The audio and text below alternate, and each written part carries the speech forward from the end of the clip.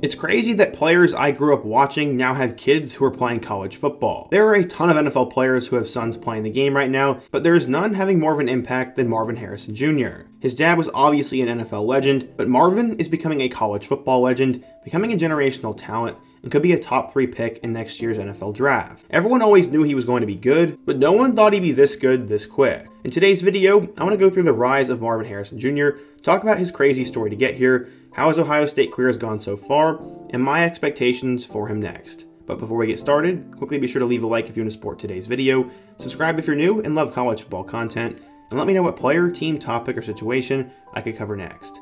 Now, let's get started and talk about the insane rise of Marvin Harrison Jr. I'm assuming you guys know who Marvin Harrison is, right? He was a college football superstar and went on to have a highly decorated career at the Colts. I think highly decorated is an understatement as he is now a Hall of Famer, and you could argue is one of the better receivers in NFL history. Like father, like son, Marvin Harrison Jr. took a liking to the game. Combining his dad's success with his extremely hardworking mom, it was the perfect formula for MH3 to become the superstar he is now. He pointed to his mom getting up at 4.30 a.m. every day to work and his dad's success as focal points growing up. Harrison Jr. wanted to become a big star, but in order to do that, he'd have to block out the noise and live up to the insane hype. When he got to high school, he originally played football for LaSalle College, but him and his family decided that a transfer would be the best move for him, so he went to a local powerhouse school instead. Harrison Jr. would arrive at St. Joseph's Prep in Philadelphia with high expectations but it wasn't the perfect transition as he didn't have daunting size and he was unproven. His head coach said, quote,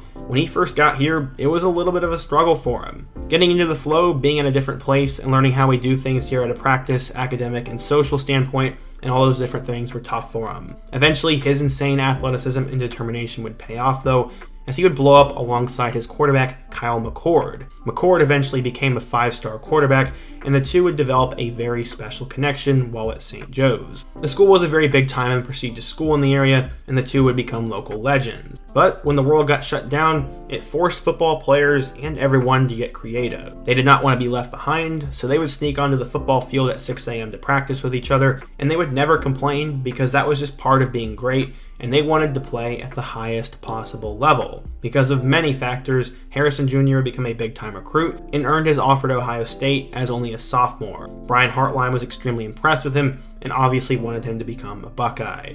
A big reason for that was because Harrison was a tremendous blocker. During the Urban Meyer era, Meyer was known to go after receivers who loved the block and never took a play off. It was something that the OSU staff would always look into, and his high school coach said, quote, if that is what Ohio State is looking for, they're going to get somebody who can catch the ball, who can block, and when the ball is not going to him, is not going to take a play off. He's not a prima donna, and he's not a diva. So we now know how the story goes. Marvin Harrison III gets better and better, and ended up following his high school quarterback Kyle McCord to Ohio State. Harrison committed to Ohio State over the likes of LSU, Michigan, Penn State, Texas A&M, and a ton of other offers. He became the fifth member of the class of 2021, and Ohio State fans were pumped for good reason. But why Ohio State?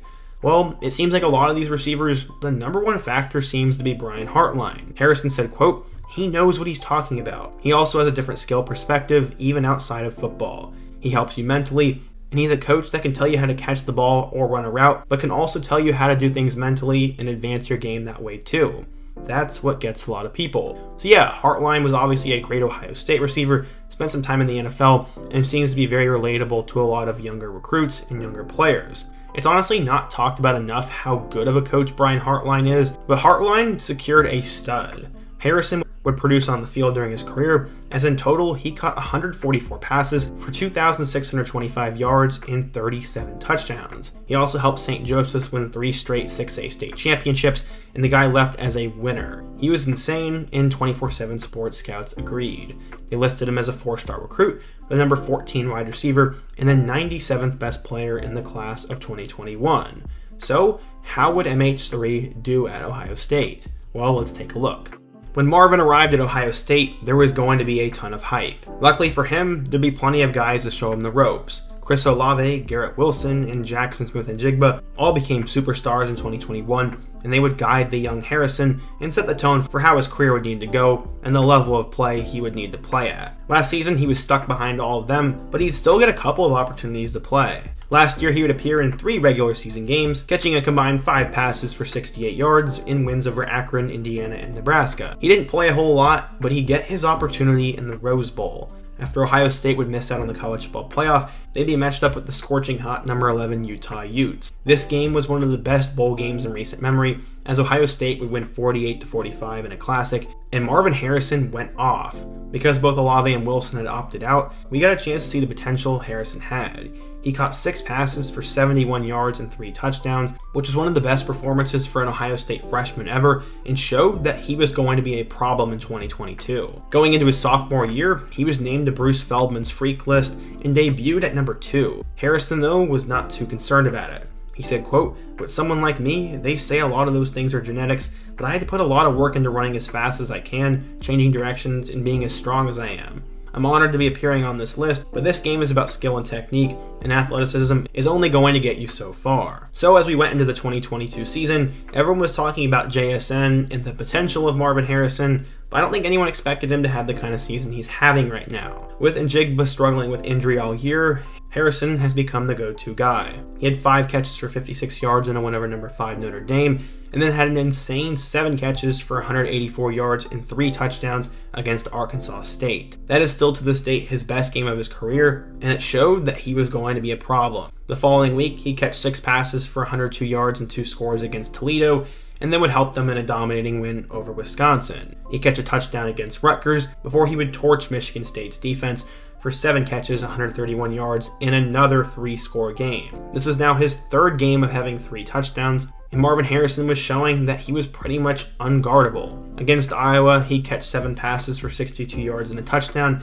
and that's actually quite impressive with how good Iowa's defense typically is. From there, he'd have one of the best performances of the year so far, as he had a season high 10 catches and 185 yards in a win over number 13 Penn State. He made a couple of crucial plays and continued that on with 5 catches for 51 yards against Northwestern. He once again went off against Indiana, catching 7 passes for 135 yards and a touchdown, had 5 catches in a narrow victory over Maryland, and then did his best in the game against Michigan. While they ended up losing to the Wolverines, Harrison caught 7 passes for 120 yards and a score. As I said, they'd ultimately lose, and this was absolutely heartbreaking, but I guess it didn't matter, as Ohio State would still get to the playoff, and Harrison would have his chance to get a national title ring. Against number one Georgia, Harrison once again went off. He had five catches for 106 yards and two touchdowns, but unfortunately got cheap shotted and knocked out of the game due to injury. This was a major blow for Ohio State and one of the most controversial no calls of all time. In my opinion, there definitely should have been a flag there, and I think Harrison Jr. got screwed.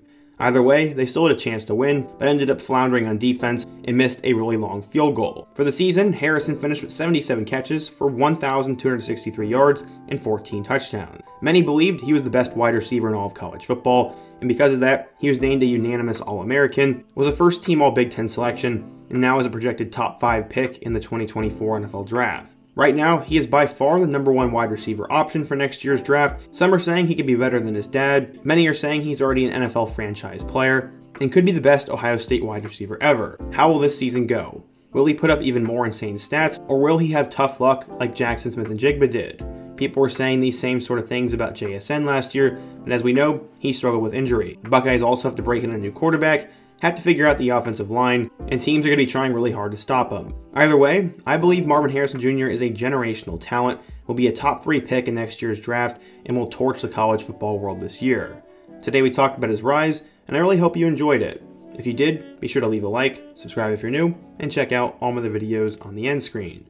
Hope to see you guys again soon, and until next time, peace.